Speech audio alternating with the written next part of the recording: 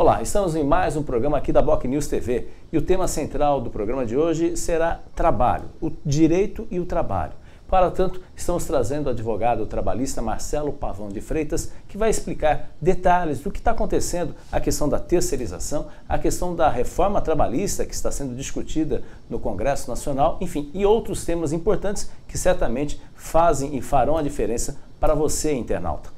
Boa tarde, Marcelo, tudo bem? Seja bem-vindo aqui mais um programa da Boc News TV. Boa tarde, boa tarde, Fernando. É uma honra estar aqui no Boc News. É uma satisfação estar falando para a nossa cidade num jornal, num veículo tão conceituado como o seu. Muito obrigado pelo convite. Ok. Então é importante, Marcelo, você que foi também presidente da Associação dos Advogados Trabalhistas da Baixada Santista, né? Hoje, hoje o cenário, né?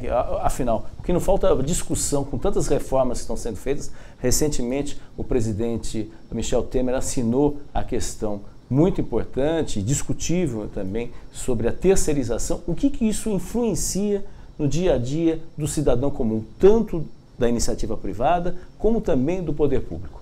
Olha, é importantíssima essa sua pergunta, essa dúvida, porque a questão da terceirização, a gente começa falando o seguinte: a terceirização, de uma forma simples, ela não é um monstro, não é algo que deva ser evitado, não é algo que, que não deva ocorrer. É, isso para a gente começar falando que não é uma empresa terceirizada como um monstro que deve ser combatido. O problema que nós temos no Brasil é que nós temos órgãos é, que são constituídos para a fiscalização que são totalmente inoperantes. E a gente tem uma situação da fiscalização do trabalho como algo que é muito mais inoperante do que o restante. Então, isso passa a ser um drama no momento que você tem empresas é, terceirizadoras de trabalho é, que não querem ser empresas. Como é que eu posso dizer isso? Então, assim, são empresas que elas às vezes não existem, que são criadas para in, é, entrar numa lacuna do, da mão de obra, uhum. e aí elas são contratadas. Fim do contrato, essas empresas são murchadas, extintas, e os trabalhadores ficam verdadeiramente a ver navios. É, o que, que acontece, por exemplo, dois exemplos de empresas muito famosas na região, que são exemplos práticos do, do, dos malefícios da terceirização. Nós tínhamos a Águia Uno e a, a, a tivemos a Pires, tivemos a H1 e a Capital aqui em Santos. Empresas que muitos dos seus telespectadores, das pessoas que estão nos vendo e ouvindo, é, devem ter ouvido, que fizeram segurança com a Águia, a Uno, uhum. com diversas outras. O que, que aconteceu? Essas empresas trabalhavam de uma forma substancial para órgãos públicos. Banco, Banco do Brasil, Caixa Econômica Federal, fóruns é, e secretarias e, etc, e departamentos. O que, que aconteceu com essas empresas? é, estavam com, elas estão em nome de dois laranjas, né? duas pessoas que não têm bens, duas pessoas que não têm por onde responder, e elas trabalhavam para a entidade pública. Nesse, durante os contratos, o que, que acontecia? Eram retidos é, fundos de garantia, horas extras, é, é, encargos previdenciários e todos os demais encargos. As pessoas só recebiam salário. Né? Então, de acordo com a lei, o órgão público passava, fazia o repasse, os trabalhadores eh, recebiam salário, no final do contrato, eles foram todos mandados embora. Muito, dezenas, centenas de trabalhadores na região uhum. não receberam seus haveres. E agora, com essa mudança da lei, a responsabilização do ente público passa a ser limitada à não fiscalização. E aí vem uma ficção legal, porque o que é a fiscalização? Para muitos juízes, para muitas autoridades do judiciário, basta uma simples reunião dizendo que A e B se reuniram para fiscalizar o contrato de C e está tudo bem. Só que não está tudo bem. Hoje, esses trabalhadores não podem mais reconhecer junto ao órgão público que seus créditos não foram pagos. O ente público falou: o problema não é meu. Você vai ter que ir atrás dos sócios que a gente já sabe que são laranjas. Então, o grande problema é que, por não haver uma efetiva fiscalização, essa terceirização ela é nociva e prejudicial ao trabalhador. Tá? Hoje, inclusive, pela essa alteração recente da legislação, acabou com a, com a figura do responsável solidário. Na prática, o que, que era? O cidadão contratava um trabalhador, mas continuava dando ordens a ele, continuava passando é, todas as orientações, o controle efetivo do trabalho, apenas ele não recebia é, ele não era contratado diretamente. É, ele não era caro. contratado diretamente. Aí o que, que aconteceu? Ele simplesmente não recebeu as coisas, o que, que vai acontecer? Ele vai atrás do seu do tomador de serviço. Uhum. Antes havia a condição da solidariedade, que você, se tivesse trato direto, você pedia o vínculo direto, que é o caso que você falou do condomínio. Hoje não pode mais, você tem que esgotar as vias judiciais atrás do empregador direto, para lá no fundo, daqui a alguns anos. E pode prescrever também. Então, é, isso é uma dúvida que é muito importante tirar. Quando se ingressa na Justiça do Trabalho, já se ingressa contra todos. Não se ingressa contra um para se ingressar contra outro depois. Já se ingressa contra o prestador, o tomador e todos os seus, seus atravessadores, vamos colocar assim. Eu, semana passada, no escritório, tive ainda uma cliente que é uma ação contra um plano de saúde, que na mesma sala é, é, ela me trouxe a informação de que existem quatro CNPJs trabalhando na mesma sala. Quatro empresas diferentes subordinadas ao mesmo guarda-chuva. Isso é só para atrapalhar o trabalhador. Né? É, essa terceirização é, ilimitada, que é o que estão aprovando, também é outra situação muito danosa. Porque como se explica você contratar uma pessoa jurídica né, para fazer o serviço da sua empresa? Não tem justificativa. É, querem aplicar no Brasil aquela metodologia americana, onde a pessoa fala assim: olha, eu vou contratar o, o, o jornalista por 200 mil dólares por ano. Você pega 200 mil dólares, divide por 12, é o teu salário. Uhum. E desses 200 mil dólares, você vai tirar os encargos, o teu plano de saúde, o teu aluguel, ou seja, está tudo ali dentro. Você deu um preço para receber. Os encargos são seus. No Brasil não é assim. No Brasil você tem que recolher os encargos. Então aí vai a primeira, a grande crítica que eu faço a essa lei, que ela não fala em flexibilização de encargos. Quer dizer, no momento que você tem um salário que custa 2 mil e no final das contas, para o empregador, esse trabalhador vai custar 5 mil por mês, o que, que vai acontecer? Não fecha a conta. Porque o cara só recebe 2 mil, ele vai ter descontado ainda INSS, vai ter descontado Vale Transporte, ele vai ter Sim. descontado uma série de coisas, e o empregador paga duas vezes e meia isso, só de encargos. É, é esse que é o grande detalhe. Quer dizer, a, a, a legislação deveria e deve prever flexibilização de encargos para quem contratar. Quer dizer, o maior número de vagas, você vai descendo a alíquota dos seus encargos. Mas hoje não, hoje a gente tem. Recentemente aumentaram o ICMS por um erro do governo, aumentaram a luz por um erro do governo, aumentaram o PIS e COFINS por erros do governo. Porque a gente paga imposto é porque os nossos governantes gastam demais. Sem dúvida. E quem está pagando é o empresário e o empregado principalmente. E o empresário, infelizmente, não de forma generalizada, mas uma grande quantidade de empresários entraram nessa ciranda de achar que a terceirização é a solução dos problemas. Não é. Então tem muita gente que fica terceirizando sem critério. E aí você tem o primeiro problema que vai acontecer. É, há uma, uma previsão de que os terceirizados aumentem de 13 milhões hoje para em torno de 52 milhões. Isso representa algo em torno de quanto da massa produtiva no país? Mais da metade? Mais da metade da massa produtiva. E aí a gente está imediatamente é, entrando num lodo muito perigoso, que é o do subemprego.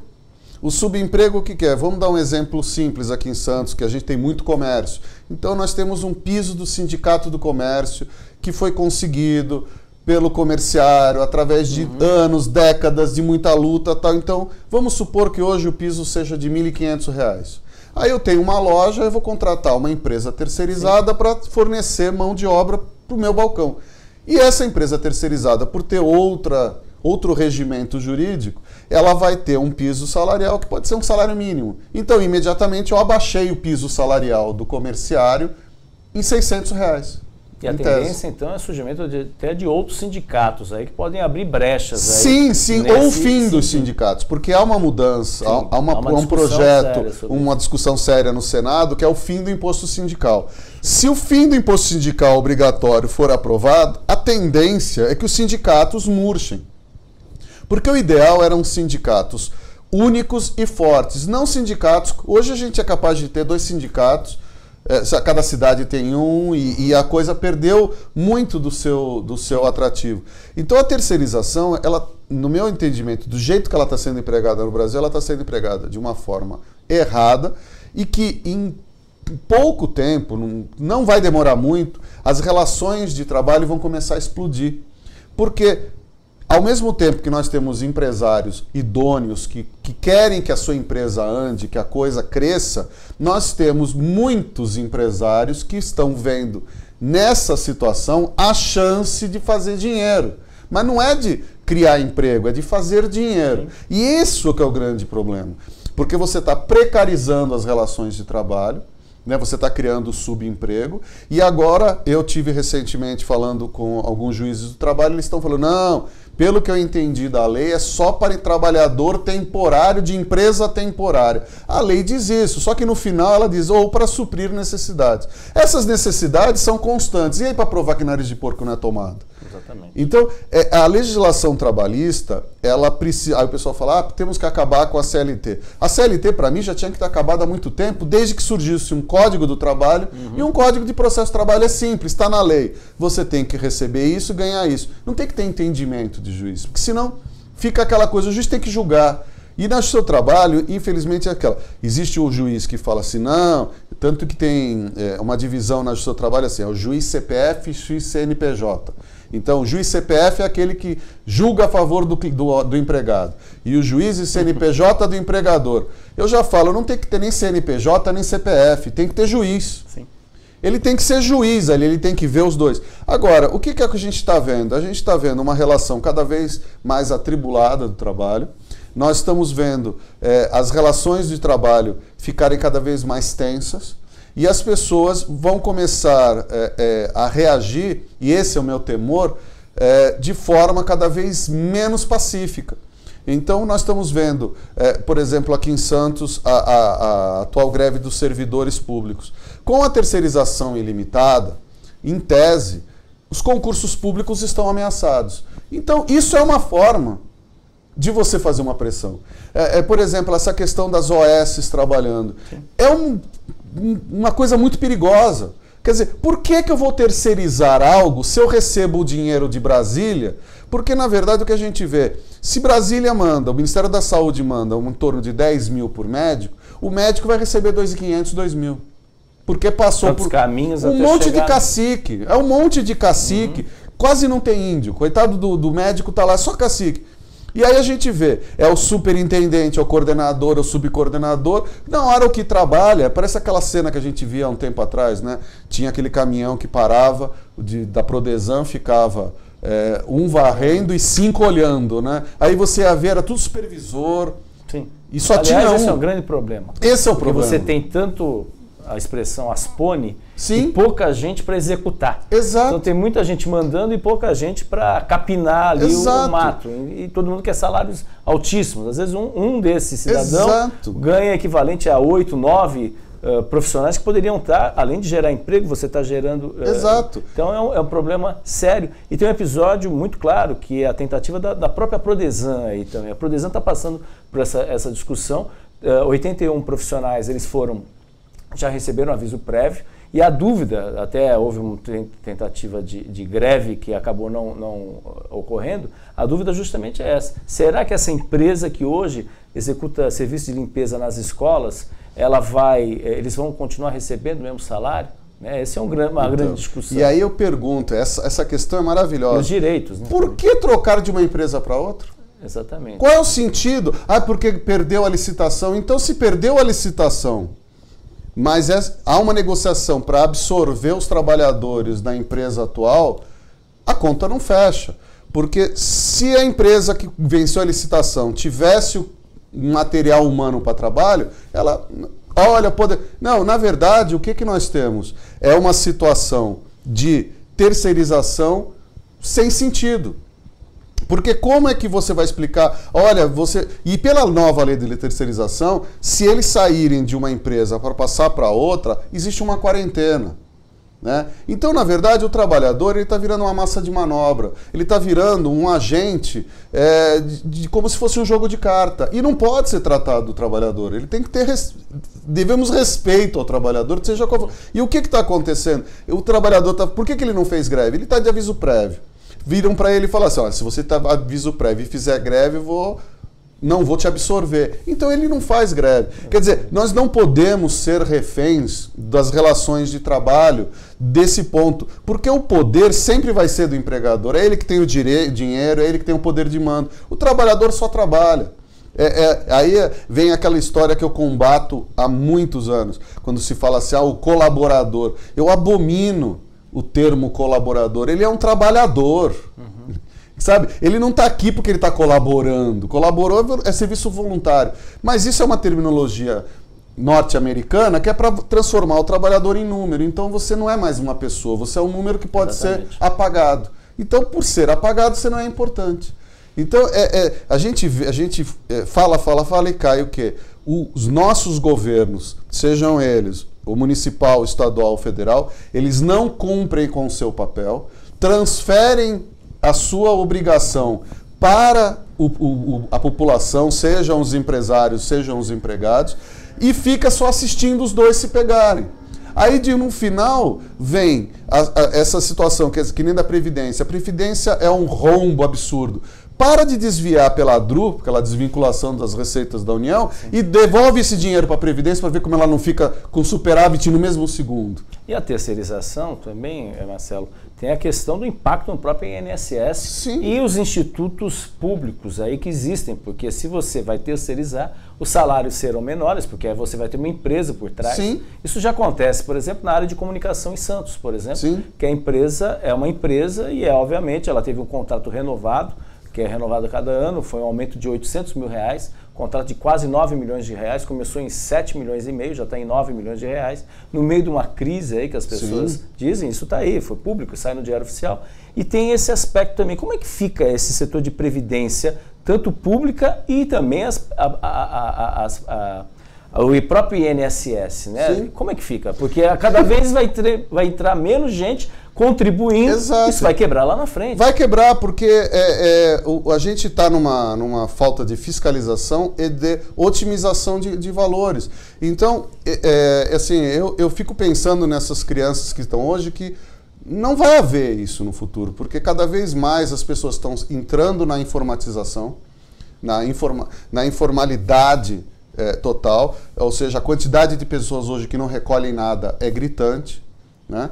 E você tem é, a, Previdência, cada vez menos dinheiro de gente saindo, mais gente querendo se aposentar, o servidor público já não é, é Previdência Especial, a Caixa de Pecúlio, que também a gente sabe que o cheiro não está legal. Infelizmente, nós precisamos parar e repensar o, o, o, Brasil antes que quebre de vez. Porque nós estamos a passos muito largos para quebrar o país. Vai quebrar esse país de como de um, vai quebrar. Virar uma Grécia. Vai pior ainda, porque a Grécia eles ainda têm uma cultura de, de renascimento. Nós no Brasil temos uma cultura de acabar com o nosso recurso natural e mudar para outro lugar onde tem outro recurso. A gente não renova, a gente não, não, não exige que o poder público faça aquilo que ele deve fazer. A gente, infelizmente, cai naquela história que se a coisa der certo, foi que Deus quis, graças a Deus. E se Deus quiser, não vamos acontecer nada. Então, é, é, é, a gente precisa começar a cobrar com objetividade nossos direitos e deveres e que as leis sejam cumpridas. O maior problema dessa reforma trabalhista que está é, por exemplo, deixar sindicato negociar sobre a lei. Lei é lei, ou então revoguem, mudem a lei. Nós não podemos deixar no entendimento de terceiros. É muito perigoso o campo que o Brasil está entrando. É muito perigoso a gente fazer essa terceirização sem as pessoas saberem o que é efetivamente a terceirização.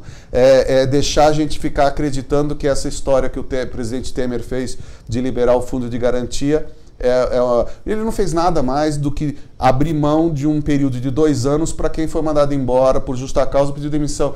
Quem estava mais de três anos já parado uhum. podia levantar. Só que ninguém falava isso, ninguém fala, vai ver seu dinheiro.